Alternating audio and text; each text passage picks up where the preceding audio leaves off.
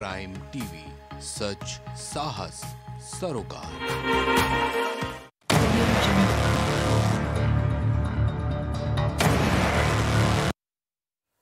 नमस्कार, मैं हूँ गौरव श्रीवास्तव। प्राइम डिबेट में आप सभी का बहुत बहुत स्वागत है और यहाँ पर मुद्दा नहीं बोलेंगे, यहाँ तो खुशी की बात हम कहेंगे। और खुशी की बात यह है कि अयोध्या में एक ऐसी दिवाली मनाने की तैयारी शुरू हो गई है, जो ऐतिहासिक होगी और अपना एक अलग इतिहास बनाएगी। और इसकी शुरुआत अगर हम कहें तो योगी सरकार की जब पहला कार्यकाल शुरू हुआ था सत्रह में, तब से शुरुआत हुई थी और अयोध्या में राम की पैड़ी सहित पूरी अयोध्या में एक लाख अस्सी हज़ार के लगभग दिए जलाए गए थे। अठारह की बात करें तो लगभग लगभग साढ़े तीन लाख से ज़्यादा दिए जलाए गए। उसके बाद अगर उन्नीस की बात करें तो साढ़े चार लाख के दिए, लगभग दिए जलाए गए। बीस की बात करें तो लगभग लगभग साढ़े छः लाख से ज़्यादा दिए जलाए गए। और इक्कीस की बात करें तो लगभग लगभग साढ़े नौ लाख दिए जलाए गए केवल राम की पैड़ी पर।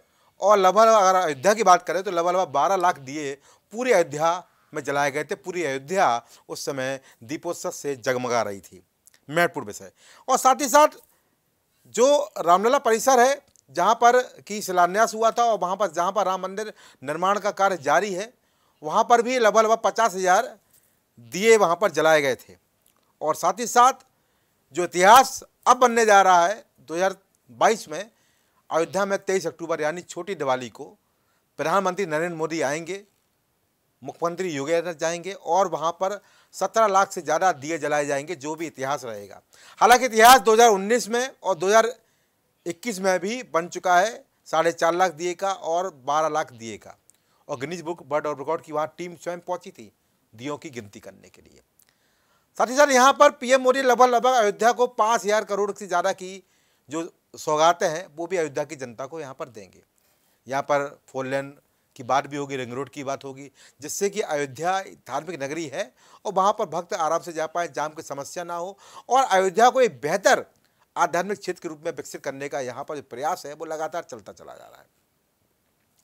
सबसे महत्वपूर्ण बात यहाँ पर यह है कि अगर इस पूरी व्यवस्था को हम देखें तो लगातार जो बीजेपी द्वारा आध्यात्मिक आयोजन भी हो रहे हैं और शिरकत भी हो रही है और कहीं ना कहीं एक बेहतर पहल यहाँ पर हो रही है।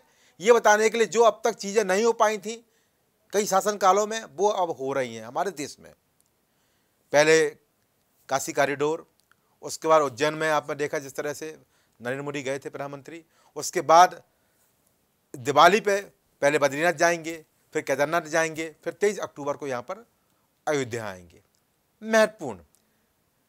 अब इसको विपक्ष के नज़रिए से देखता है, वो विपक्ष की भूमिका है, विपक्ष का काम है आरोप प्रत्यारोप का दौर करना, पर यहाँ पर आरोप प्रत्यारोप भी कैसे करेंगे?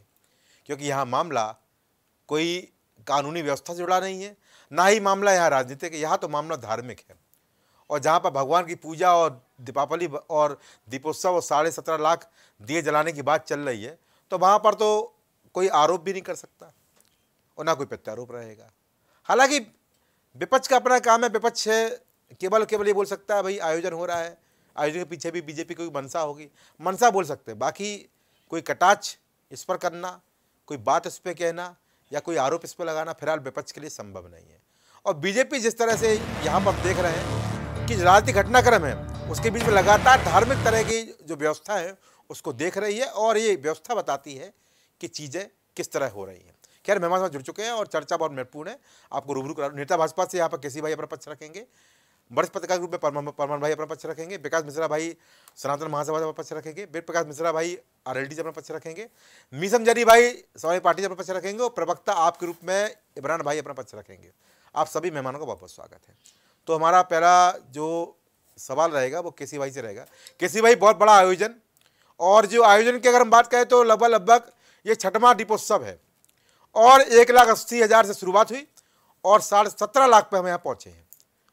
बहुत बड़ा आयोजन। और आयोजन ऐसा है कि जिसको देखने के लिए विदेशी सैलानी भी आ रहे हैं और एक ऐसा आयोजन है जो लगातार गिनीज बुक वर्ल्ड रिकॉर्ड में अपनी जगह भी बना रहा है।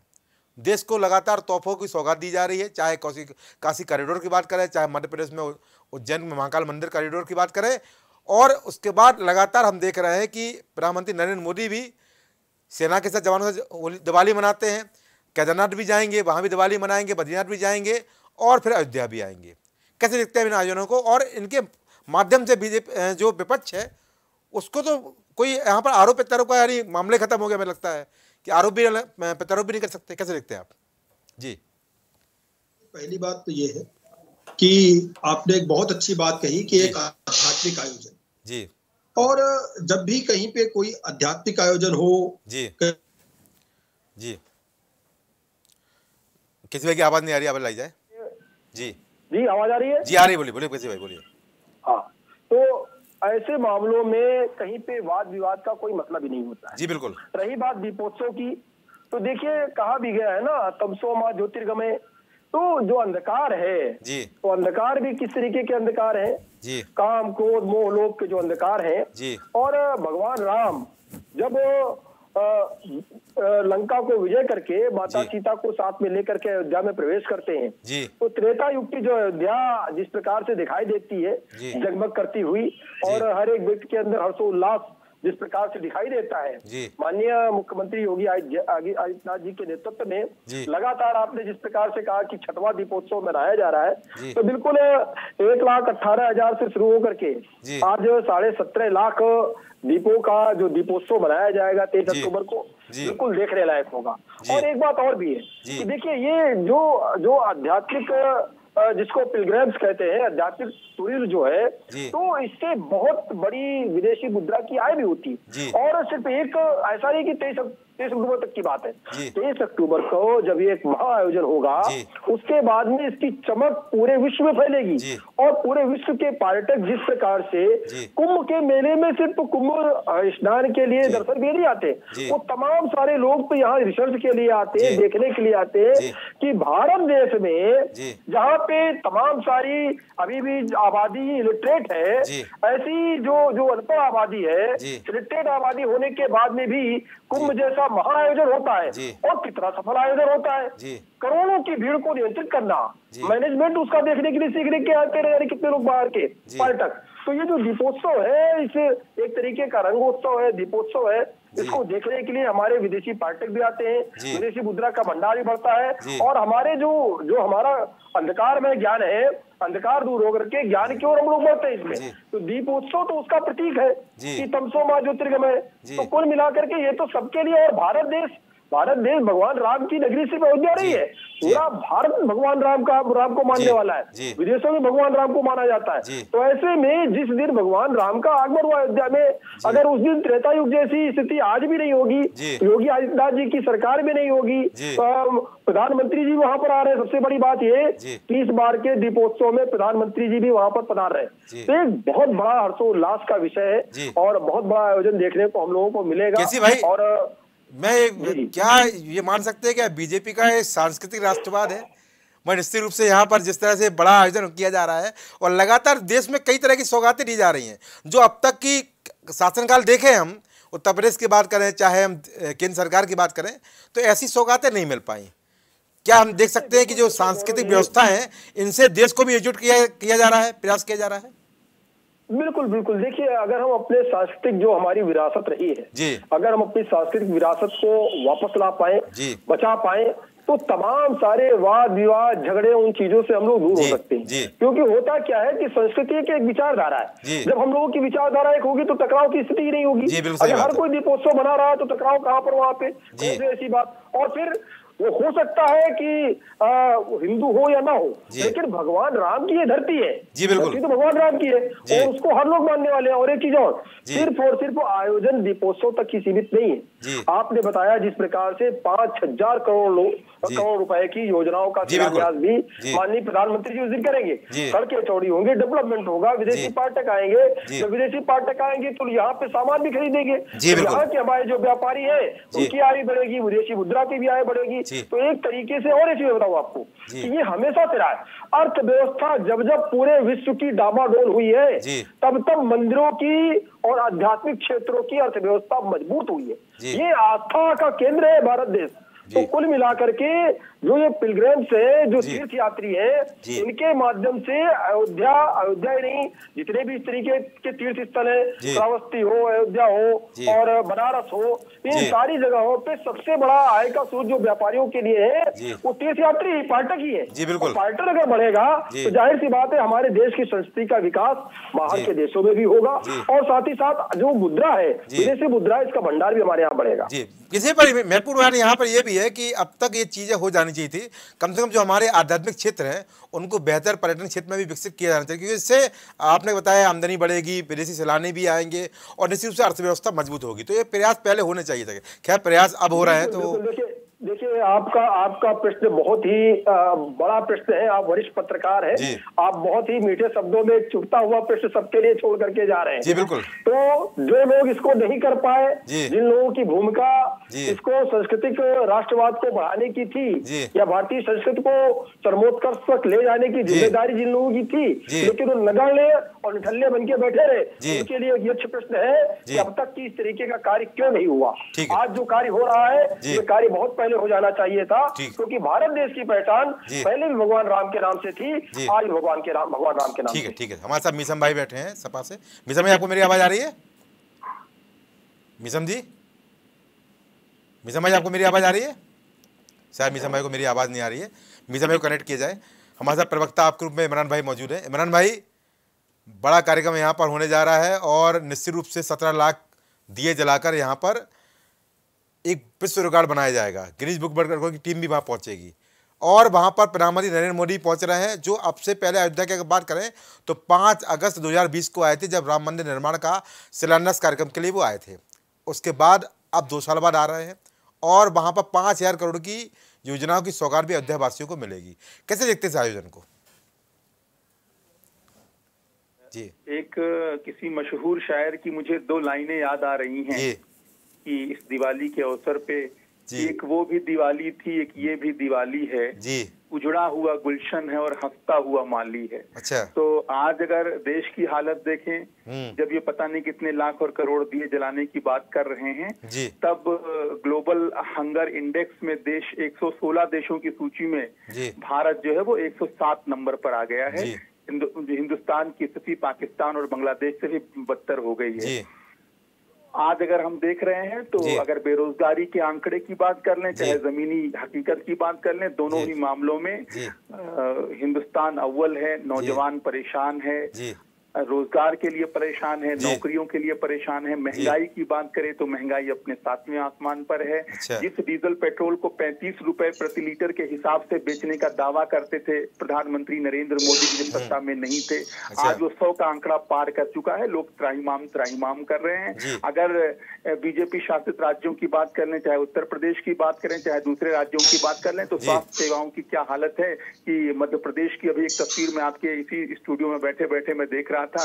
मोबाइल फ़ोन पर कि चार साल की बच्ची का शव जो है वो स्कूटर पर लेकर जाने को मजबूर हैं उनके परिजन। तो। ये सारी स्थिति है दवाइयाँ नहीं है अस्पतालों में डॉक्टर्स नहीं है अस्पतालों में जांचें नहीं हो पा रही हैं। लेकिन जहाँ धर्म की राजनीति की बात आ रही है वहाँ पर तमाम तरह के आयोजन किए जा रहे हैं। निश्चित रूप से होना चाहिए। दे, देश की जो सांस्कृतिक विरासत है उसको और समृद्ध किए जाने की ज़रूरत है। इससे बिल्कुल इनकार नहीं किया जा रहा है। जो। धार्मिक स्थल हैं उनको उनको पर्यटन का अ, मज़बूत पर्यटन स्थल बनाया जाए निश्चित रूप से बनाया जाना चाहिए। हम, हम सबकी आस्था का विषय भी है और हम सबकी सांस्कृतिक विरासत है इसको मज़बूत किया जाना बेहद ज़रूरी है।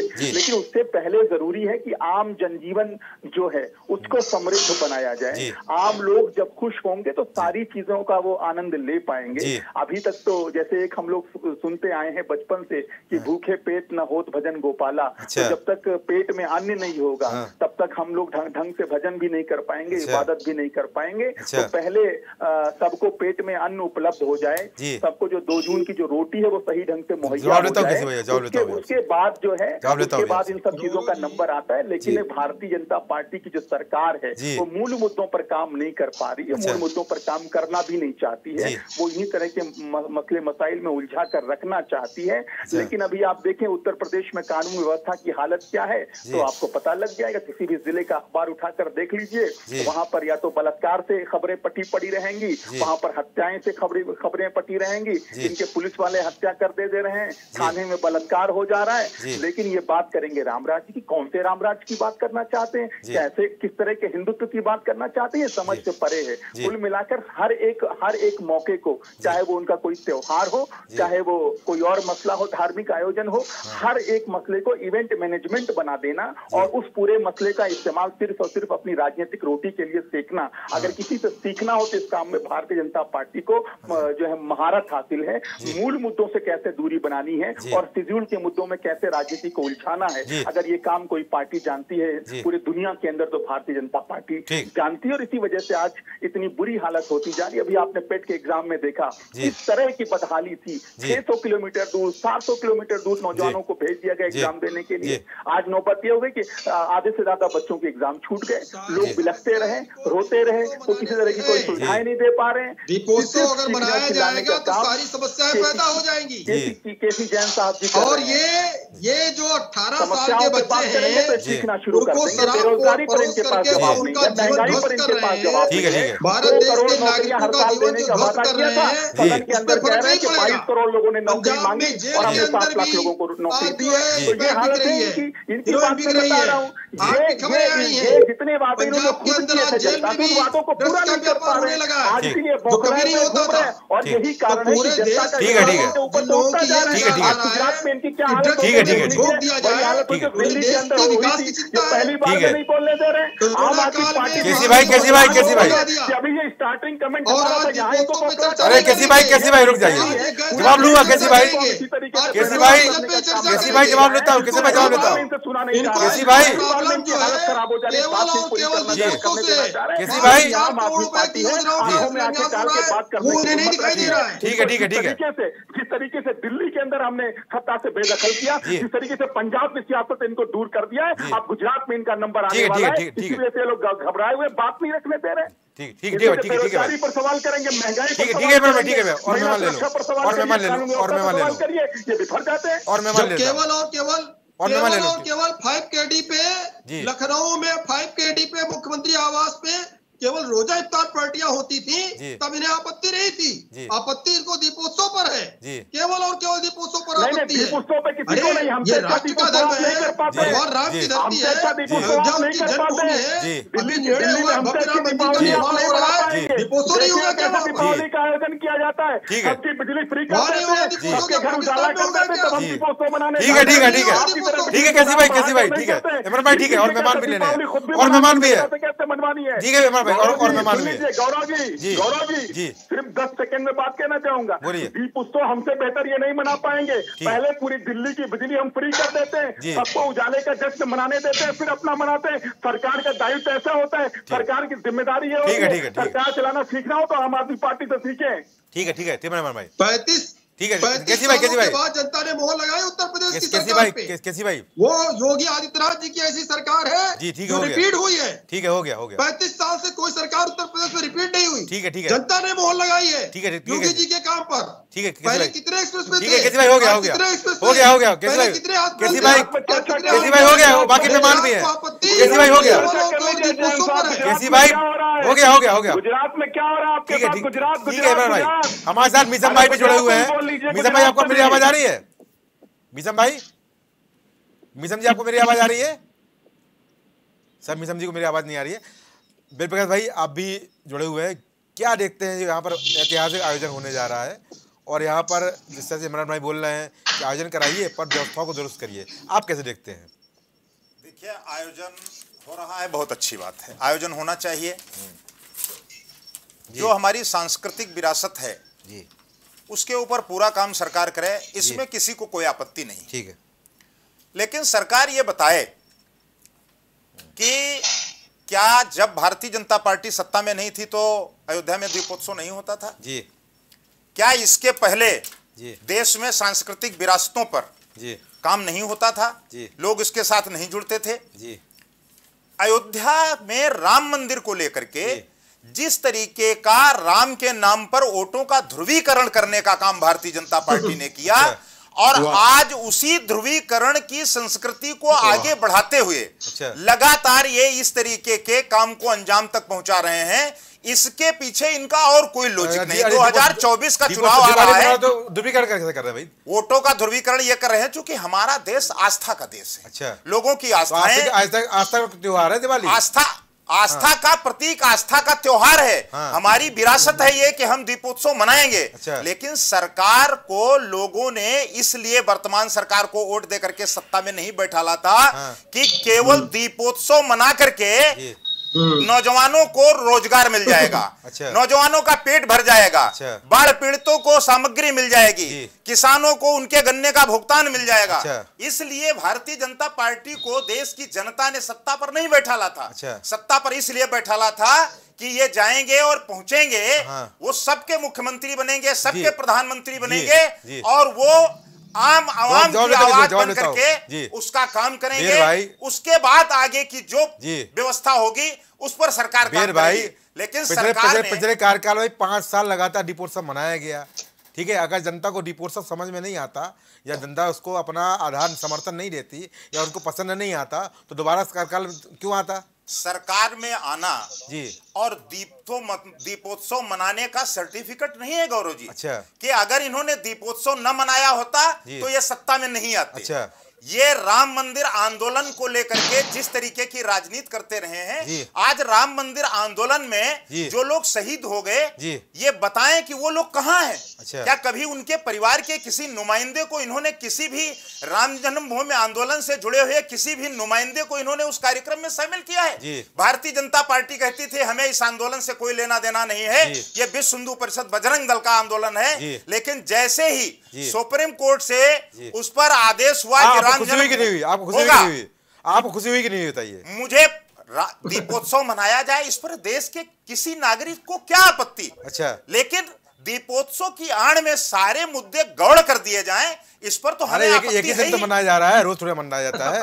ये दिन रोज मनाया जाता है। अरे प्रतिदिन बद्रीनाथ जाएँगे केदारनाथ जाएँगे विदेश जाएँगे मंदिर जाएँगे गुरुद्वारे जाएँगे यहाँ जाएँगे वहाँ जाएँगे लेकिन हमको ये बताइए कि दीपोत्सव मना लेने से विदेश में मंदिर में मत्था टेक देने से क्या नौजवानों की तो आप जाइए आप क्यों नहीं जा रहे आप भी जाइए। नहीं हम क्या जाते नहीं? जी। क्या हम भारतीय जनता पार्टी से पूछ करके जाएँगे? अच्छा। हम जाते हैं लेकिन तो हम उसका तो- राजनीतिकरण तो नहीं उनके- करते। क्या दिक्कत लेकिन लेकिन ये जी। उसका राजनीतिकरण करते हैं और राजनीतिकरण करके लोगों की आस्था को वोट में कन्वर्ट करके भुनाने का काम करते हैं। अगर 2024 का चुनाव नज़दीक न होता हाँ। तो शायद माननीय प्रधानमंत्री जी अयोध्या का कार्यक्रम नहीं देते अच्छा। लेकिन इस कार्यक्रम में आकर के। वो 2024 की तैयारी कर रहे हैं ऐसा हमारा आप, आपकी तैयारी नहीं चल रही आप भी जाइए वहाँ पर शामिल होइए जाके आपको मना किया गया क्या आप बताइए। कि क्या जब वहाँ पे दीपोत्सव होगा तो क्या हम उसमें शरीक नहीं है? हाँ। क्या हम उसमें शामिल नहीं है? क्या भारत का कोई नागरिक उसके विरोध में है? लेकिन दीपोत्सव कराने के पहले और जो सारी बातें हैं उन पर भी तो चर्चा होनी चाहिए उन पर भी तो बात होनी चाहिए। उस पर तो भारतीय जनता पार्टी का एजेंडा साफ़ होना चाहिए। जब हम कहते हैं कि किसानों को आपने कहा था मुफ़्त में बिजली देंगे तो ये विधानसभा में कहते हैं मेरी कोई योजना नहीं है। अच्छा। भाई आपकी क्यों नहीं योजना है? जब आपने कहा था आपने घोषणा पत्र में कि हम किसानों को मुफ़्त बिजली देंगे। चौदह दिन पे किसानों को भुगतान की बात कही थी। क्या चौदह दिन पर किसानों का भुगतान हो रहा है? आज धान की खरीद का एक भी केंद्र चालू नहीं है। क्यों नहीं आपने केंद्र चालू कराया? अब आप पूरे देश की जनता का ध्यान दीपोत्सव की तरफ़ मोड़ करके।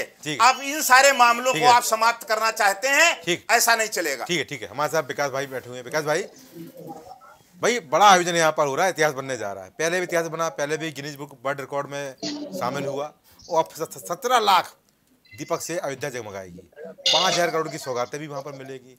प्रधानमंत्री खुद आ रहे हैं। कैसे देखते हैं आयोजन को आप? कि विपक्ष तो लगातार उस पर आरोप लगा रहा है। जी हाँ बड़ा ही स्वर्णिम अवसर है। भारत को कम से कम बहुत दिनों बाद एक ऐसी सरकार मिली है क्या बात है।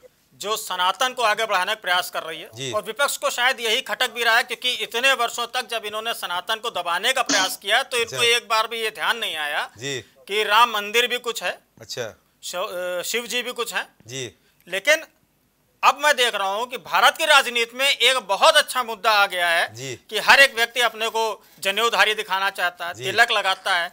ये भारत की पहचान है भारत की संस्कृति कितनी अच्छे स्वर्ण में अवसर है कि हर एक व्यक्ति इस समय सनातनी बनना चाहता है। भारत तो सनातनी था ही। जी।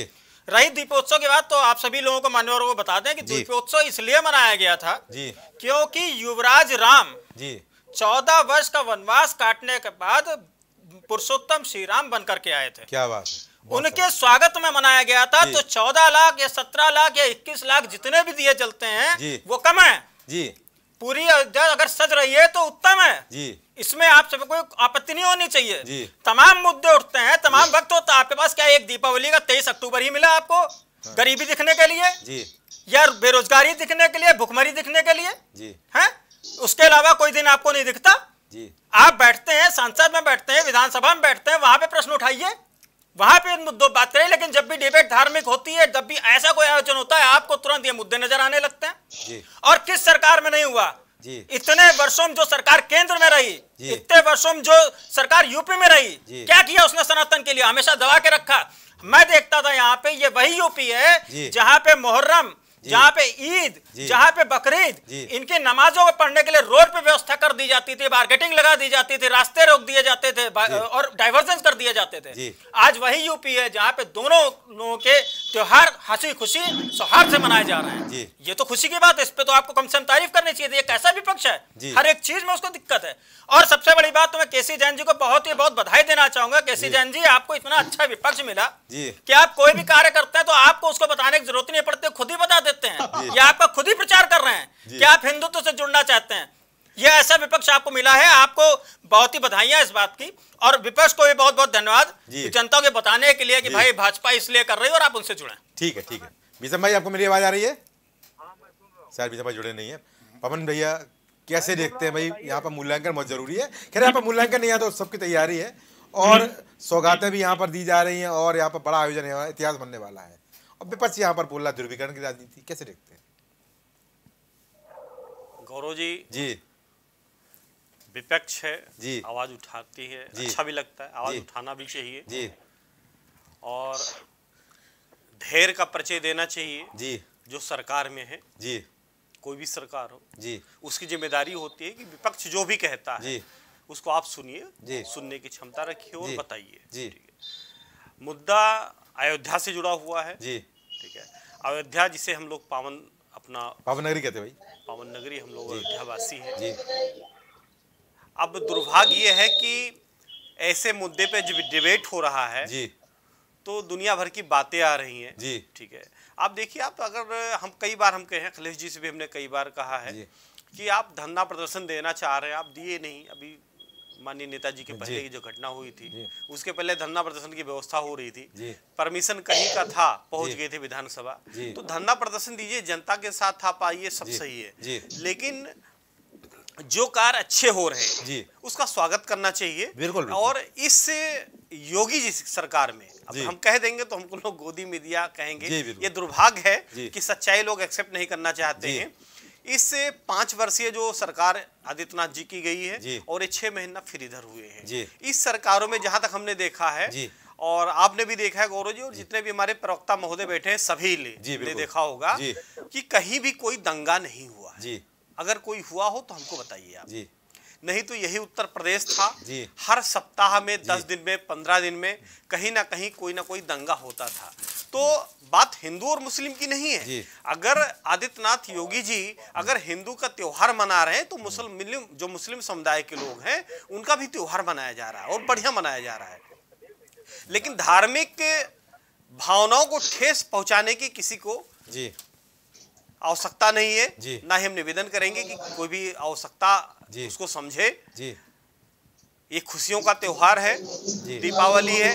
अंधेरे से उजाले की तरफ़ ध्यान दीजिएगा सर। अंधेरे से उजाले की तरफ़। अब आज इस मुद्दे पे हमको नहीं कहना चाहिए लेकिन भाजपा का प्रथम कर्तव्य यही होना चाहिए कि अगर हम अंधेरे में है रोज़गार दाल रोटी कपड़ा जो भी होती है एक बहुत पुरानी फ़िल्म आई थी रोटी कपड़ा मकान जो कि ये मूलभूत सुविधाएँ हैं इंसानों की आदमियों की। अगर आपको किसी ने उस गद्दी पे बैठाया है तो उसकी ज़रूरत आपको पूरा करना चाहिए पूरा भी कर रहे हैं कहीं अगर त्रुटि है तो उसको विपक्ष के कारण उनको बताना चाहिए कि हाँ यहाँ ये कमियाँ हैं वो पूरा किया जाए। लेकिन अगर अयोध्या दीपोत्सव हो रहा है बड़ा कार्यक्रम हो रहा है और आप देखेंगे अयोध्या की बात आप कर रहे हैं गौरव जी।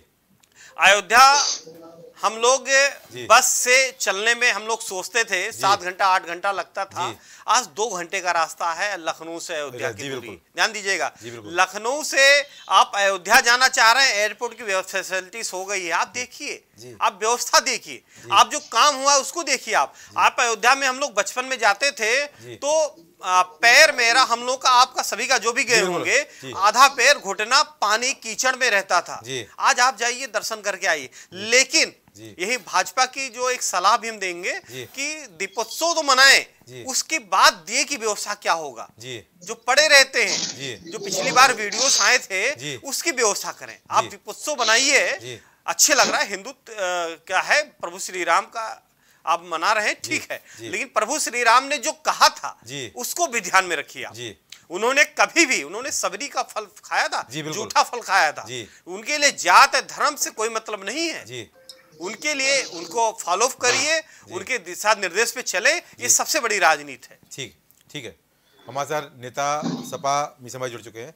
मीसम भाई बड़ा आयोजन यहाँ पर है इतिहास बनाया जा रहा है। और यहाँ पर जिस तरह से प्रवक्ता राहुल भी बोले हैं प्रवक्ता आप भी बोले हैं कि यहाँ पर राजनीति अगर मुद्दे देखे मुद्दों पर हल किया जाए बाकी आयोजन से कोई दिक्कत नहीं है आप कैसे देखते हैं आयोजन को आप? सबसे पहले तो गौरव जी आपको आपकी पूरी टीम को और यहाँ पर बैठे जी। तो तमाम भारतवासियों को प्रदेशवासियों को और हमारे प्रधानमंत्री जी को और योगी जी को और जी। सभी को बहुत बहुत बधाई हम्म। और बहुत बहुत शुभकामनाएँ। जी। दीपावली की एडवांस। जी। एडवांस। जी ठीक है।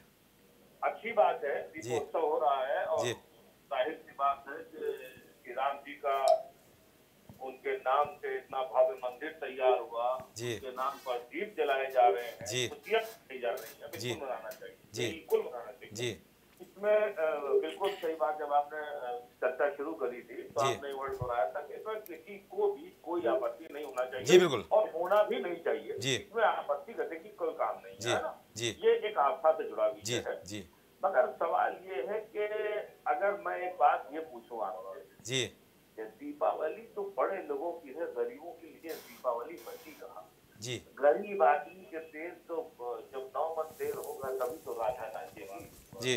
जब गरीब आदमी के पास दिया जलाने का तेल हमारे प्रधानमंत्री जी भरवाएँगे जी। रखवाएँगे तभी तो वो दिया जलाएगा। जी। और साहब आप पानी और अडानी प्रधानमंत्री दिवाली तो क्या कहना है? दिवाली तो बड़े लोगों की है। अच्छा। हमारी तो नहीं है। जी। हम तो गरीब आदमी हैं। जी। और भूखे पेट भजन भी नहीं होता है। अच्छा। तो सवाल ये है कि ऐसा प्रयास किया जाए जी। कि इस तरह से दीप जलाए जाए कि लोगों में नफरत का जो अंधकार है वो खत्म होकर के जी। उजाले से भर जाए। जी।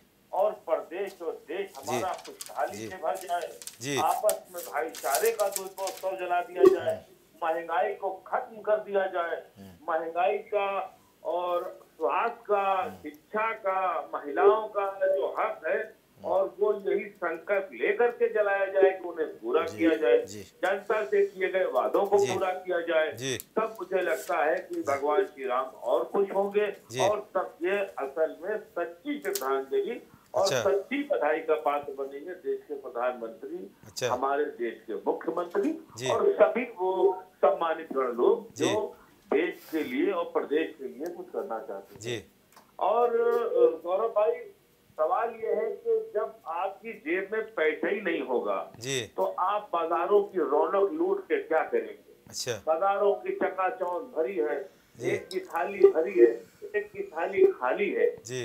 ऐसे में दिल तब दुख जाता है कि जब एक गरीब का घर अंधकार में पड़ा हो और बड़े बड़े लोगों के घरों में साहब विदेशी लाइट सब जगमगाती और चमकती हुई मिले तब उस वक्त मुझे लगता है कि इस तरह के त्योहारों को मनाना बेमानी होगा। और रही बात खुशियाँ तो खुशियाँ तो हमेशा से चलती चली आई है।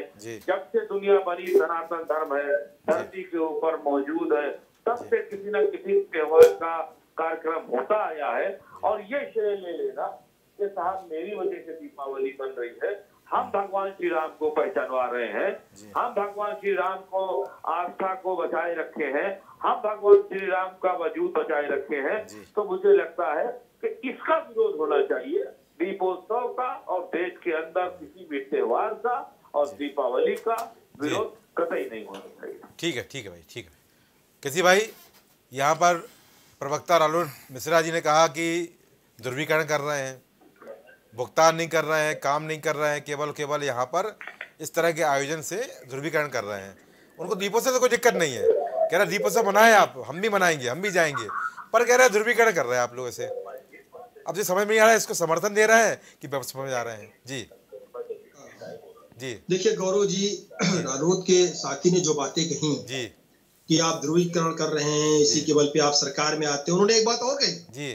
कि ऐसा नहीं कि आप दीपोत्सव नहीं मनाते तो सरकार में नहीं आते। जी हाँ। तो दो दोनों बातें वो कह रहे हैं। आप रिपीट करिएगा देखिएगा वो क्या कह रहे हैं। जी जी। तो उनको भी ये पता है कि सरकार में हम क्यों आए। जी। सरकार में हम इसलिए आए हैं क्योंकि हमने काम किया है। और उत्तर प्रदेश के मुख्यमंत्री यही तो समस्या है कि काम आपने नहीं किया और सरकार में आप आ गए। यही तो समस्या हाँ, बेसिक हाँ, है। आपने काम कहाँ किया? और कहा आज काम हो रहा है ये भी तो लीजिए, सोचिए जैन साहब। सुन लीजिए। सुन लीजिए देखिए समय ज़्यादा नहीं है। हाँ जी, बोलिए, बोलिए, मुझे बोलने दीजिए दो मिनट जी, बोलिए। उसके बाद आप बोलिए। बोलिए बोलिए बोलिए। मुझे चार लोगों के जवाब देने हैं चार लोगों की बात जी जी बिल्कुल बिल्कुल। दो मिनट में मैं अपनी बात पूरी कर दूँगा फिर आप प्रश्न करिए जी बोलिए। देखिए पहली बात तो ये कि रही बात ध्रुवीकरण की जी। तो जिन लोगों की राजनीति ध्रुवीकरण पे होती रही जी। वो विपक्ष में चाहे समाजवादी पार्टी रही हो तुष्टिकरण की राजनीति करती रही चाहे कांग्रेस रही हो और अभी पाँच राज्यों के चुनाव में पाँच राज्यों के परिणाम ने भी बता दिया कि कौन ध्रुवीकरण करता है कौन काम करता है। काम के आधार पर पैंतीस सालों के बाद अगर कोई सरकार रिपीट हुई है तो उत्तर प्रदेश में योगी आदित्यनाथ जी की सरकार रिपीट हुई है। नहीं तो सरकारें बदलती रही। इसी उत्तर प्रदेश की सरकारें बदलती रही। कभी बहन जी की आई कभी सपा की आई कभी कांग्रेस की आई कभी किसी की आई कभी बीजेपी की आई बदलती रही। लेकिन योगी आदित्यनाथ जी ने इस प्रकार से काम किया कि जनता ने उनको सराहा। और कोरोना काल में अपने पिताजी की अंत्येष्टि तक में शामिल होने नहीं गए। ये देश वो देश है जिसको ये हमारे समाजवादी पार्टी के साथी कह रहे थे आपने काम नहीं किया। इनको सारी आपत्ति दीपोत्सव से है भी और ये भी कह रहे हैं दीपोत्सव से आपत्ति नहीं है। गरीब- गरीब- की दिवाली कार्यक्रम से नहीं थी। सेफई में जब करोड़ों रुपए दे करके नृत्यांगनाएँ आती थी नृत्य करती थी नाचती गाती थी तब उस पर आपत्ति नहीं थी। करोड़ों करोड़ रुपए सरकारी पैसा खर्च होता था। कोई निजी आयोजन नहीं था। तब आपको आपत्ति नहीं थी। जब रोजा इफ्तार पार्टियाँ केडी पे हुआ करती थी तब आपको आपत्ति नहीं थी। तब कोई देश का विकास नहीं रुकता था। लेकिन तेईस अक्टूबर को प्रधानमंत्री। जी। अगर पाँच हज़ार करोड़ रुपए की योजनाओं का शिलान्यास करेंगे और साथ ही साथ दीपोत्सव बनाया जाएगा तो सारा देश का विकास रुक जाएगा सारा डेवलपमेंट जहाँ की तहाँ ठप हो जाएगा ये कह रहे हैं हमारे चाहे समाजवादी पार्टी के साथी हो। हाँ। चाहे रालोद के साथी हो दूसरी बात। इसकी ये काम कर काम की बात कर रहे थे और इन्होंने भी स्वयं कहा कि भुखमरी इंडेक्स में भारत देश जो पाकिस्तान है जो बांग्लादेश है जो श्रीलंका है इससे भी ऊपर है। इनकी इनकी इनकी गणना नीचे। यानी कि भुखमरी में भारत देश और ज़्यादा आगे। तो आप स्वयं सोच लीजिए। जहाँ पर राष्ट्रपति भवन पे हमला हो जाए। जहाँ राष्ट्रपति भवन के स्विमिंग पूल पे लोग नहाने के लिए कूद जाए जहाँ एकदम मारा मारी हो वो भुखमरी के इंडेक्स में हाँ। नीचे, नीचे। और भारत देश भुखमरी इंडेक्स में ऊपर। तो उनकी आकलन कितना सही है कितना गलत है इसका आकलन भी सब लोग कर सकते हैं। बिल्कुल। दूसरी बात एक और। कि अगर अगर इसी उत्तर प्रदेश की सरकार ने पाँच लाख लोगों को आवास दिए इसी उत्तर प्रदेश सरकार ने जो बाईस करोड़ की आबादी इसका फ्री वैक्सीनेशन किया। इसी भारत देश की सरकार अस्सी करोड़ लोगों को खाद्यान्न मुफ़्त में दे रही है। ये काम नहीं हो रहा है। बच्चों को मुफ़्त शिक्षा दी जा रही है फिफ्थ तक की। उनके मोजे जूते बैग पढ़ाई सारी मुफ़्त है। सारी चीज़ें उनको मिल रही है। महिलाएँ हैं उनको पूरी पेंशन मिल रही है। विकलांग उनको पेंशन मिल रही है। छह हज़ार रुपए किसानों के खाते में डायरेक्ट जा रहा है। ये वो सरकार नहीं है जिसमें राजीव गांधी जी कहते थे एक रुपया भेजते हो तो पंद्रह पैसे जाता है। अगर पंद्रह पैसे जाता था तो उसको फुल प्रूफ सिस्टम क्यों नहीं किया? उस लूप होल को क्यों नहीं बंद किया? और समाजवादी पार्टी का क्या गुणगान करें। ये करोड़ों करोड़ रुपए के फव्वारे लगा दिए। इसी गोमती नदी में रिवर फ्रंट के नाम पर जो। घोटाले हुए उससे जनता का कोई नुकसान नहीं हुआ। करोड़ों रुपए के फवारे देख करके गरीब जनता का कल्याण हो जाता है। जो। ठेले वाले रिक्शे वाले कुंचे वाले। उनका पेट भर जाता है। करोड़ों करोड़ रुपए के फवारे देख करके। लेकिन आज। योगी आदित्यनाथ जी की सरकार अगर काम कर रही है लोगों को आवाज़ दे रही है भोजन दे रही है सड़कें बन रही। हैं एक्सप्रेस वे बन रहे हैं पचास से ज़्यादा नए हॉस्पिटल बन करके खड़े हो गए हैं तो कोई विकास नहीं हो रहा है। क्यों नहीं हो रहा है? क्योंकि दीपोत्सव साथ में हो रहा है। दीपोत्सव ना हो।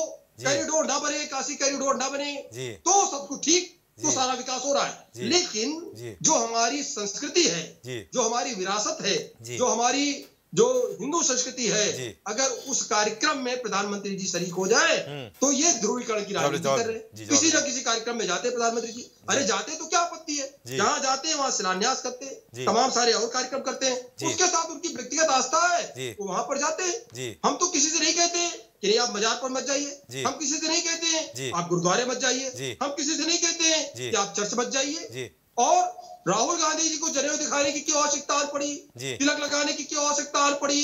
केजरीवाल जी को क्यों अपने आप को बताना पड़ता? नहीं मैं सबसे बड़ा हिंदू हूँ। क्यों वो जाकर के दुग्ध चढ़ाते भगवान शिव पर? क्यों गंगा स्नान करने जाते हैं सबसे पहले कुंभ के मेले में? तो ये जो राजनीति है ना राजनीति तो वो कर रहे हैं जिनकी आस्था नहीं है और सिर्फ़ और सिर्फ़ दिखावे का ढोंग कर रहे हैं। लेकिन जिनकी रियल आस्था है जिनकी वास्तविक आस्था है जो। व्यक्तिगत उस धर्म में है अगर अपने धर्म का पालन कर रहे हैं तो ध्रुवीकरण हो गया। काय का ध्रुवीकरण हो गया। दीपोत्सव हो रहा है तो आपको तकलीफ़ हो रही है। ठीक। जनता पे आपको तकलीफ़ नहीं थी। दीपोत्सव पर किसको आपत्ति है जैन साहब? दीपोत्सव पे किसी को आपत्ति नहीं है लेकिन। दीपोत्सव के साथ साथ आप ये बताइए कि जो राम जन्मभूमि आंदोलन से जुड़े हुए लोग शहीद हो गए थे उनके कितने परिवारों को आप बुला रहे हैं वहाँ? आप एक भी आदमी को आज तक नहीं बुलाए हैं। कोई नहीं जुड़ा था। आप बताइए वो कोठारी बंधु जो। दो लोग गोली से मरे थे वहाँ क्या उनके परिवार को आपने बुलाया कभी? आपने कभी नहीं उनको बुलाया। अरे भाई आपने नहीं बुलाया। अगर बुलाया है तो आप दिखा दीजिए ना। मतलब नहीं कि कोई और नहीं जुड़ा था। अरे। जितने आप भी जुड़े थे। प्रत्येक की आस्था जुड़ी थे। लेकिन आपने उसको अपने पाले में करके सिर्फ़ ये बताने की कोशिश कर रहे हैं कि अगर कोई व्यक्ति सनातन धर्म की रक्षा करने के लिए तैयार है तो वो केवल भारतीय जनता तो पार्टी है। बाकी सारे लोग भारतीय जनता पार्टी के अलावा कोई आदमी सनातन धर्म का मानने वाला नहीं है। राष्ट्रवादी केवल भारतीय जनता पार्टी है। सारे लोग राष्ट्रवादी है, ठीक सारे लोग सनातन धर्मी है। और सनातन धर्म ऐसा नहीं है कि अगर भारतीय जनता पार्टी अगर भारतीय जनता पार्टी अगर अगर ये दीपोत्सव नहीं मनाएगी तो भगवान राम की तो आप बताइए क्या दीपोत्सव नहीं मनाया जाएगा? ठीक है। मैं कह रहा हूँ आप बताइए कुठारी बंधु कहाँ है? जी। जैन साहब मैं आपसे पूछता हूँ आज इस डिबेट में आप बताइए क्या उनको आपने आमंत्रित किया है? आपने आमंत्रित नहीं किया। आपने राम मंदिर आंदोलनकारियों को बाहर करके राम मंदिर के ऊपर कब्जा करके और राम को सर्टिफिकेट आप दे दिया। कि ये सिर्फ़ भारतीय जनता पार्टी के हैं। इस देश की जनता के राम नहीं है ये आपका तरीका नहीं चलेगा इसका विरोध होगा सत्रह लाख दीप जलने वाले हैं सत्रह लाख नहीं आप सत्तर लाख दीप जलाइए लेकिन आप ये बताइए कि जो लोग राम जन्मभूमि आंदोलन में शहीद हुए ठीक है, ठीक है, थे है। उनके घर में दिवाली हो रही है या नहीं हो रही है इसका तो जवाब दीजिए श्रीमान है है है हूँ किसी के यहाँ दिवाली नहीं हो रही है। आप बताओ ना आपके पास हो जवाब नहीं है आप बताइए कि कोठारी बंधुओं को आपने बुलाया? जी। उनके माँ बाप को आपने बुलाया? ठीक है। भाई बहन को आपने बुलाया? ठीक है ठीक है ठीक है। कार सेवकों को आपने बुलाया? ठीक है, आप किसी को नहीं बुलाते हैं। आप स्वयं जाकर के दीपोत्सव मनाएँगे और बड़ा बड़ा प्रचार करेंगे कि साहब हम ये दीपावली मना रहे हैं। ये आप देख लीजिए मैं सनातन धर्म का ठीक ठीक। ठेकेदार हूँ। मैं सनातन धर्म का रक्षक हूँ। सारे लोग सनातन धर्म को मानने वाले हैं जी, साहब। भारतीय जनता पार्टी के पास सनातन धर्म का ठेका नहीं है। और सनातन धर्म इतना कमज़ोर नहीं है कि वो किसी के बचाने से बचेगा। ये है। अनादिकाल से चल रहा है और है अनादिकाल तक ठीक है, ठीक चलता रहेगा। ठीक है इमरान भाई कुछ बोले। इमरान भाई अपनी बात पूरी करिए। इमरान भाई बोलिए भैया। जी। तो नहीं करेंगे। जी। अभी इन्होंने आस्था की बात की उसमें अरविंद केजरीवाल जी का ज़िक्र किया इस नाते मैं जवाब दे रहा हूँ। अन्यथा मैं इनकी बात का जवाब उस बात का जवाब ना देता। आस्था इतनी मज़बूत है भगवान राम के प्रति और राम मंदिर के प्रति हमारे जैन साहब की और इनकी पार्टी की। इन्होंने राम मंदिर के नाम पे जो चंदा किया था उसमें भी घोटाला करने का काम कर दिया। अच्छा। अच्छा राम मंदिर आंदोलन में आप देखे फिर चिल्लाने लगे हो तो तो अभी जवाब ही है। तो। है बाकायदा चैनलों पे सारे चैनलों पे इन्हीं चैनलों के ऊपर भाई, भाई, है। भाई बारी बारी से बोलिए भाई बारी बारी से बोलिए आप बताइए ना कि राम आंदोलन राम जन्मभूमि आंदोलन से जुड़े हुए जो लोग थे वो लोग आज कहाँ हैं ठीक है, ठीक है। आज तो आज तो भारतीय जनता पार्टी वो लोग कहाँ हैं जो आंदोलन भाई थे वो कहाँ हैं बेर भाई आप बताइए वो कार सेवक मिश्रा कहाँ जी मिश्रा जी मिश्रा जी घरों के लोग मर गए अरे बेर भाई बेर भाई बेर भाई ये भी तो आप बताइए। आज सनातन धर्म के ठेकेदार अपने आप बन गए। राष्ट्रवादी अरे भाई हो गया हो गया। हो गया हो। गया हो गया हो गया। नहीं पूछेंगे हो गया हो गया। राष्ट्रद्रोही है पूरी दुनिया। जी। पूरा भारत का आदमी राष्ट्रद्रोही है केवल राष्ट्रवाद के ठेकेदार आप हो गया हो। गया हो गया हो गया हो गया। इमरान भाई बात पूरी करिए। घोटाला करने वाले लोग बेचैन हो जाते हैं जब उनके उस घोटाले की आवाज़ उठाई जाती है। बहरहाल अभी मैं यही बात कह रहा था कि दिल्ली में आम आदमी पार्टी की सरकार है। जी। आम आदमी पार्टी ने ध्रुवीकरण की हो रही थी। सुन तो लीजिए फिर बात हो रही थी ध्रुवीकरण तो। किया जा रहा है। जी। अरे इस मामले वो में तो किया ही जा। रहा है जैन साहब ध्रुवीकरण आप लोग कर रहे हैं आप लोग अपने आप सर्टिफिकेट बनाते हैं कि मैं राष्ट्र भक्त हूँ। मैं राम भक्त हूँ। मैं कृष्ण भक्त हूँ। बाकी और सारे जो है वो राम भक्त नहीं है? वो कृष्ण भक्त है कोई मतलब नहीं है कोई मतलब नहीं है। कोई मतलब नहीं है बारी बारी बोलिए। है। किसी की आवाज़ नहीं आ रही है कोई मतलब नहीं है। बारी बारी। किसी भाई अभी जवाब लेता हूँ आपका किसी भाई जवाब लेता हूँ। इमरान भाई बात पूरी करिए समय बहुत कम है बोलिए। जवाब लेता किसी भाई। यही मैंने कहा कि देखिए जब आम आदमी पार्टी बोलने लगती है ना तो भारतीय जनता पार्टी या तो चिल्लाएगी या तो फिर जबान खामोश हो जाएगी। अच्छा। तो प्रधानमंत्री को पाँच बच्चों के क्लासरूम में पहुँचा दिया है आम आदमी पार्टी ने गुजरात के अंदर। तो लगभग वही हालत होगी जो दिल्ली के अंदर भारतीय जनता पार्टी की हुई आपने तो कभी गुजरात के अंदर होने जाएँगे बेचैन देखिए बेचैनी देखिए बेचैनी। गुजरात की बेचैनी सवाल हुआ? चेहरे पर झलक रही है। गुजरात की बेचैनी चेहरे पर झलक रही है। अच्छा। आपने आंदोलन क्यों नहीं चलाया? आप कहाँ थे उस समय? जब सैफई महोत्सव होता था तब आप विपक्ष में थे। तब आप कहाँ थे? आपने क्यों नहीं उस पर आंदोलन चलाया? ठीक है, ठीक है, हो गया, हो गया। आने के बाद आपको याद आया हो गया। महोत्सव? उस समय आपको हो गया, हो गया भाई, हो गया। चलो ठीक है। पाकिस्तान पर चुनाव बहुत हो गया। जी। हिंदू मुसलमान पर चुनाव बहुत हो गया जैन साहब। जी। स्कूल पे चुनाव लड़ा रहे हैं गुजरात में हालत खराब है। जी। हिंदुस्तान, मशीन ढूंढ के पाकिस्तान नहीं कर पा रहे वहाँ 2024 पे। पे। उत्तर प्रदेश में बासठ हज़ार पद रिक्त है प्राइमरी स्कूल में अध्यापकों के। ये देखिए आंकड़ा आप अपना आंकड़ा देख लीजिए। सरकारी भाई आंकड़ा देख दीपोत्सव की लो। बात चल रही भाई। सरकारी बात यहाँ पर दीपोत्सव की चल रही भाई उस मुद्दे पे आइए। बोलिए। ठीक है ठीक है। ठीक है मेरा भाई। विकास भाई कुछ बात बोलना चाह रहे विकास भाई बोलिए। जी हाँ अभी मैं रालोद का प्रवक्ता जी की बात सुन रहा था जो। कह रहे थे कि भाजपा जो है अपने की ठेकेदार ठेकेदार समझ रही है सनातन। संस्कृति का तो मान्यवर मैं आपको बता दूँ। जी। ठेकेदार आप लोग बनाना चाह रहा जी। मैं इससे पहले भी अपने वक्तव्य में बोल चुका हूँ ठेकेदार विपक्ष बनाना चाह रहा जी। जनता कभी एक सेकंड पहले बात सुनिए जब मैं आपकी बात सुन रहा तो आप पहले मेरी बात सुनिएगा उसके बाद बोलिएगा। जी। अभी आप बोल रहे थे मैंने सुना है। जी। फिर मैं जब बोल लूँ तब बोलिएगा। बोलिए बोलिए बोलिए। आप खुद उसको ठेकेदार बनाने का प्रयास कर रहे हैं। जी। जनता को आप लोग जब भी विपक्ष मैं देखता हूँ बोलता है तो जनता को ऐसा दिखाता है कि बिल्कुल मूर्ख है। जी। वो सिर्फ़ इन्हीं मुद्दों पे जिता देती है। जी। अगर ऐसा है तो इमरान भाई से भी मैं पूछता हूँ कि दिल्ली में आप वापस आए। आप कैसे वापस आ गए? कार्य किया इसलिए वापस आए ना? जी। तो जनता इसी तरीके से वापस लाती है ये पहली बात है। ठीक दूसरी बात जिस समय यूपी के अंदर जालीदार टोपिया पहनने का रिवाज चलता था जी। उसकी होड़ चलती थी तब इनमें से किसी भी एक व्यक्ति के मुँह से आवाज़ नहीं निकली। जी। आज सनातन की बात हो रही तो दर्द हो रहा है। और आप कह रहे दीपोत्सव आप- आपको दिक्कत नहीं है। आप बताएँगे हमें आप कहते हैं कि आप सनातन धर्म का प्रचार प्रसार के लिए कार्य करते थे अरे सर अगर कार्य कर रहे होते तो इस समय आप कम से कम दीपोत्सव के लिए इस बातें नहीं कर रहे होते। आपके दर्द हो रहा है जी। आपको दर्द हो रहा है आपको बताऊँ जी अब ऐसा क्यों हो रहा है जी। अब ऐसा इसलिए हो रहा है कि आज तक सरकारों में सनातन धर्म के लिए जब भी कोई आवाज़ उठाएगी उसको दबा दिया गया जी। ये पहली सरकार है मैं खुल के बोल रहा हूँ ये पहली सरकार है। जिसमें हमारी आवाज़ कम से कम सुनी जा रही है जी और इसलिए ये कार्य हो रहे हैं और निश्चित तौर पे होंगे जी। यूपी में अगर राम मंदिर बन रहा है तो बड़ा उत्तम है और उसका भव्य आयोजन होना चाहिए। और ये बहुत ही सकारात्मक प्रयास है। और इसको अन्यथा आगे भी हो- होते रहना चाहिए। ठीक ठीक है ठीक है। मिसम भाई आपको मेरी आवाज़ आ रही है? मिसम भाई? मिसम जरी आपको मेरी आवाज़ आ रही है? शायद मिसम भाई का संपर्क टूट गया। पवन जी अपनी बात पूरी करिए। गौरव जी जी। सर्वप्रथम तो हम समस्त उत्तर प्रदेश वासियों भारतवासियों को दीपोत्सव की हार्दिक शुभकामनाएँ बधाई देंगे। जी। और बात अयोध्या धाम की हो रही है। जी। अयोध्या धाम जगमगाने की बात हो रही है। जी। और पिछले चार पाँच वर्षों से जगमगा भी रहा है। इसमें कोई डाउट नहीं है। जी। लेकिन उसी के साथ साथ जो प्लस पॉइंट ये है जी। कि लगभग पाँच हज़ार करोड़ रुपए की जी। योजनाएँ जी। उस दिन श्री गणेशाई किया जाएगा। जी। तो सबसे प्लस पॉइंट ये है। जी। अच्छा दूसरी तरफ़ हम अगर हम चर्चा करें दीपोत्सव की तो जल जीवन मिशन। जी। इसके तहत आज जो है लगभग पाँच करोड़ दिए जलाए गए हैं। आज ही जला दिए गए हैं। जी। लगभग पाँच करोड़ दिए ये उन घरों में जलाया गया है। जी। जहाँ पे हर घर को पेयजल योजना से जोड़ा गया है। जी। जिस घर में स्वच्छ जल मिल रहा है के बिल्कुल।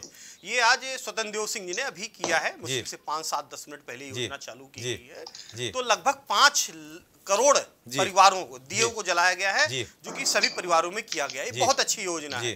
अयोध्या धाम है जी। दीपोत्सव मनाया जा रहा है इसकी खुशियाँ मनाइए। आप सभी लोग खुशियाँ मनाइए। देखिए विरोध का ऑप्शन बहुत सारे विरोधियों को मिलेगा विपक्ष को मिलेगा। आप महँगाई मुद्दे पे आप आएँगे रोज़गार मुद्दे पे आएँगे लेकिन जहाँ धर्म की बात है जी बिल्कुल। हिंदू मुस्लिम पक्ष के धर्म का सम्मान करे मुस्लिम हिंदू धर्म के जो है पक्ष का सम्मान करे। यही सबसे बड़ा धर्म होगा यही मनुष्य का धर्म है। और दीपोत्सव मनाइए आप सभी लोग यही हम कहेंगे। आखिरी में भी सभी को बहुत बहुत बधाई है शुभकामनाएँ। ठीक है। किसी भाई अपनी बात पूरी करिए। जी जी देखिए देखिए पहली बात तो ये कि अभी जो है अ, हमारे भाई साहब ने बहुत अच्छी बात रखी। जी। और जो सनातन धर्म के साथी बैठे हैं जी। उन्होंने बहुत अच्छी बात रखी और देखिए सब लोगों को आज के दिन कम से कम आज एक दिन मिला है हम लोगों जी, को। बिल्कुल। और बाकी दिन हम लोग सब तमाम सारी चर्चाएँ करते हैं विकास पे चर्चा करते हैं बेरोजगारी पे चर्चा करते हैं काम पे चर्चा करते हैं। और ऐसा नहीं कि सरकार काम नहीं कर रही। और एक बात बड़ी बात यह है कि जनता बेवकूफ़ नहीं है। जनता एक एक चीज़ का आकलन करती है उसके बाद में वोट देती है। और ये दीपोत्सव साल में एक बार आता है। ऐसा नहीं कि एक दिन दीपोत्सव करने से कोई आ, सारे काम रुक जाएँगे। बल्कि काम और ज़्यादा बढ़ता है। काम कैसे बढ़े? जब कोई भी आयोजन होता है तो वहाँ पे तमाम सारे लोग इकट्ठा होते हैं गैदरिंग होती है उसके लिए आयोजन के लिए तमाम सारी केवल एक दिन का आयोजन नहीं है। लोग। अगर आप तो दीपोत्सव मना रहे थे तो इतना बड़ा प्रचार करने की क्या ज़रूरत है? आपके सारे अखबारों में आपके तीन तीन पन्ने के। जो आर्टिकल आज छपे हुए हैं इसकी क्या आवश्यकता थी?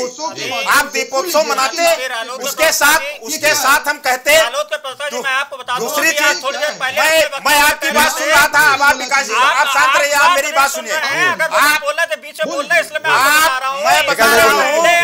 ये ठेकेदारी नहीं चलने वाली। इस देश की इस सरकार को उसका बेनकाब करने का काम विपक्ष करेगा और वो लगातार करता रहेगा कि दीपोत्सव बारी बारी बोलिए, बारी बारी से भाई। का कोई विरोध बारी- नहीं बारी बारी बोलिए। लोग केवल सरकार की चमचागिरी करते हैं बारी बारी बोलिए। इसके अलावा आप लोग कुछ नहीं करते।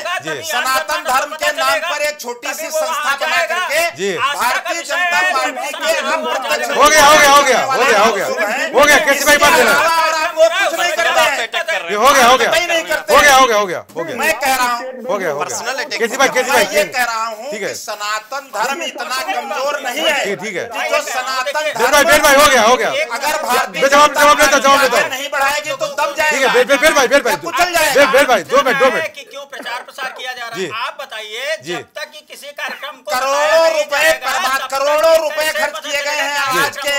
आज के विज्ञापन ठीक है, ठीक है, ठीक है। हम विपक्षी होने के नाते मेरी ज़िम्मेदारी नहीं बनी। सरकार का पैसा हो। गया, हो गया, हो। आप हैं अरे हो गया समय का समय समय का कौन मना कर रहा है? भाई, हो गया, हो गया। मनाने के लिए हो गया। आप बताइए। अरे हो गया भाई। एक एक कोई मतलब नहीं भाई कोई मतलब नहीं। अरे कोई मतलब नहीं।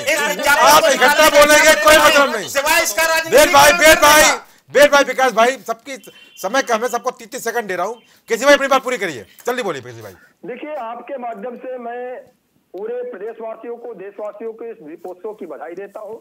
और माननीय मुख्यमंत्री योगी आदित्यनाथ जी को धन्यवाद देता हूँ कि सनातन संस्कृति को और एक सांस्कृतिक विरासत को भारतीय सांस्कृतिक विरासत को जी। से पुनर्जीवित करने का काम कर रहे हैं। और त्रेता युग की जो दीपावली थी। तो जब भगवान राम वापस अयोध्या आए थे जीत करके लंका को जीत करके। माता सीता को साथ में लेकर के आए थे उन चीज़ों की हम आज आज हम लोग उन चीज़ों को दीपोत्सव के चाहे घर। पे हो चाहे अयोध्या में हो चाहे कहीं पर भी हो चाहे देश के किसी भी कोने में। पंजाब में हो हरियाणा में हो जो। जहाँ है वहाँ अपने घर में बैठ करके इस दीपोत्सव को मनाता है और भगवान राम की वापसी को याद करता है। ठीक- है, तो मैं माननीय मुख्यमंत्री जी को धन्यवाद देता हूँ 30 सेकंड दूँगा और आपको। प्रधानमंत्री जी को इसलिए धन्यवाद देता हूँ।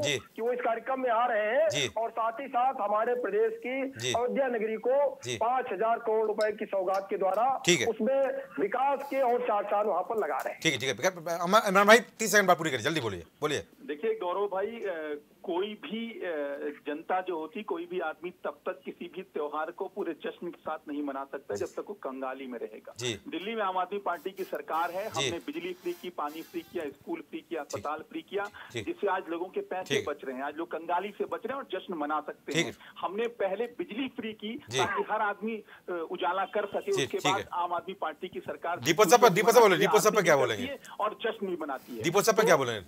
दीपोत्सव पे बोलिए। ये बहुत अच्छी बात है दीपोत्सव बिल्कुल मनना चाहिए। लेकिन मैं कहता हूँ ना कि भूखे पेट होत ना भजन ठीक है, ठीक है। जब तक पेट में ठीक है, ठीक है, ठीक है भाई, ठीक है। है। ठीक है ठीक है ठीक है पवन जी जी अपनी बात बोलिए पवन जी बोलिए। देखिए दो बातें। जी। एक तो भी हमारे आम आदमी पार्टी की बातें कर रहे थे जी, फ्री फ्री फ्री फ्री से एकदम ऊब चुके हैं। भारतीय जनता पार्टी भी फ्री बांट रही जी, है। जी। खाने के लिए फ्री दे रही है सर। आप भूल भूलिएगा नहीं और पूरे भारत वर्ष में दे रही है फ्री खाने के लिए। ठीक। वहीं अभी हमारे जी। प्रवक्ता रालो- रालोद जी कह रहे थे। अखबार के ऊपर टिप्पणी की इसलिए बोलना पड़ा मुझे। जी। विज्ञापन की चर्चा हो रही थी। विज्ञापन की आवश्यकता क्या है? देखिए वो भी किसी की रोजी रोटी का सवाल है। जी। जो विज्ञापन जाता है उससे भी चार परिवार के पेट में जाता है। जी, बिल्कुल। ठीक है? इसलिए वो आरोप मत लगाइए। आप उस समय आप कहाँ गायब थे? जब सफ़ाई में नाच होता था। उस समय आप नहीं थे। आज कुछ धर्म की बातें हो रही कुछ अच्छी चीज़ें हो रही हैं। उसका आप स्वागत करिए। ठीक है ठीक है। ठीक है ठीक क्योंकि आप ब्राह्मण हैं। और ब्राह्मण तो हमारे यहाँ पूजनीय होता है। उनको हम लोग साक्षात ब्राह्मण को जो है हम लोग। ईश्वरीय रूप में देखते हैं। लेकिन सदैव कोशिश करिए जो अच्छे काम हो रहे हैं उसकी प्रशंसा करनी चाहिए। इतना ही हम कहेंगे और कुछ नहीं। ठीक है। डॉक्टर बेर भाई अपनी बात पूरी करिए समापन करता हूँ बोलो। जो बात अभी हमारे श्रीवास्तव जल्दी बोलिए तीस सेकंड जी। वो ठीक बात है कि विज्ञापन जो है वो अखबारों के लिए रोजी रोटी का साधन है। जी। ठीक है अच्छी बात है। विज्ञापन आए। लेकिन विज्ञापन के माध्यम से जब हम प्रचार प्रसार करते हैं दीपोत्सव का तो और उसके साथ साथ बहुत सारी समस्याएँ हैं प्रदेश के सामने उन पर भी हम विपक्ष में होने के नाते सरकार का ध्यान समय समय पर आकर्षित करते रहते हैं और वो हम करते रहेंगे ये मेरी ज़िम्मेदारी ठीक। दूसरी चीज़ दीपोत्सव एक बार नहीं दीपोत्सव दस बार मनाया जाए। सारे आप जाएँगे नहीं जाएँगे? आप जाएँगे मैं? जाऊँगा वहाँ मैं जाने के लिए तैयार हूँ मेरे सारे लोग जाएँगे। लेकिन दीपोत्सव के बाद में जो गरीब बच्चे उसमें बचा हुआ तेल इकट्ठा करके जी। अपने जीवन निर्वाह करने की परिस्थिति पैदा करते हैं उस पर भी सरकार को ध्यान देना चाहिए। ठीक ठीक है ठीक है ठीक है ठीक है सबको बहुत बहुत बधाई। है जल्दी बोलिए। तो हाँ, देखिए जैसा कि अभी दीपोत्सव की बात आप कर रहे हैं दीपोत्सव बहुत ही अच्छा तरीके से कराया जा रहा है और ये बड़ा ही स्वर्णिम अवसर भी है। और एक चीज़ और भी जैसा विपक्ष के। मुँह पे आज पहली बार ये आया कि जो लोग वहाँ शहीद हुए जिनको भी कह रहे थे तो उनको भी याद किया विपक्ष ने याद किया बड़ी बात है ये शायद दीपोत्सव इस तरीके का आयोजन की वजह से आज इनको याद आ रहा है। और बाकी पूरे भारतवर्ष का त्यौहार है दीपावली किसी एक का नहीं। सभी को उसकी बहुत बहुत ठीक ठीक है। तो इस चर्चा में जुड़ने के सभी मेहमानों का बहुत बहुत धन्यवाद। तो यहाँ पर हमने देखा किस तरह से यहाँ पर जितना बड़ा आयोजन हो रहा है उस आयोजन में जहाँ पर गिनीज बुक वर्ल्ड रिकॉर्ड में वहाँ पर शामिल होगा। ये आयोजन इतिहास बनने वाला है। पाँच हज़ार करोड़ की योजनाओं की शुरुआत वहाँ पर होगी। बड़ा कार्यक्रम है वो ये लगातार छठवीं साल मनाया जाएगा। पर कहीं ना कहीं यहाँ पर जिस तरह से सांस्कृतिक आयोजन पर विपक्ष का हमला, ध्रुवीकरण की राजनीति को बताकर बोलना, या व्यवस्थाओं को बताकर बोलना, या कमियों को गिनाना तो कहीं ना कहीं ये व्यवस्था भी है कि अगर कोई आयोजन होता है तो उसको तहे दिल से स्वागत करना चाहिए। क्योंकि आयोजन हमारे देश में हो रहा है, आयोजन हमारे प्रदेश में हो रहा है, आयोजन हमारे ही ज़िले में हो रहा है। और अगर प्रदेश में कुछ बेहतर हो रहा है, आयोजन अच्छा हो रहा है गिनीज बुक वर्ल्ड रिकॉर्ड में आ रहा है, सैलानी आ रहे हैं, विश्व स्तर पर उसकी गूंज है, लोग उसको देखने आ रहे हैं तो निश्चित रूप से ये भी एक अपने आप में गर्व का विषय है।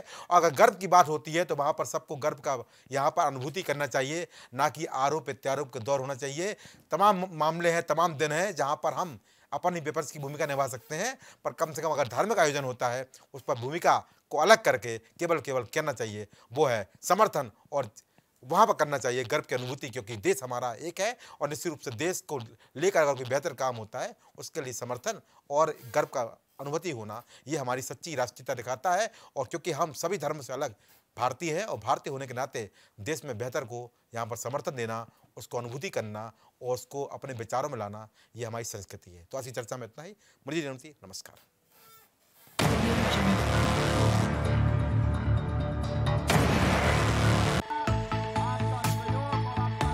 कुछ भाव पुष्प।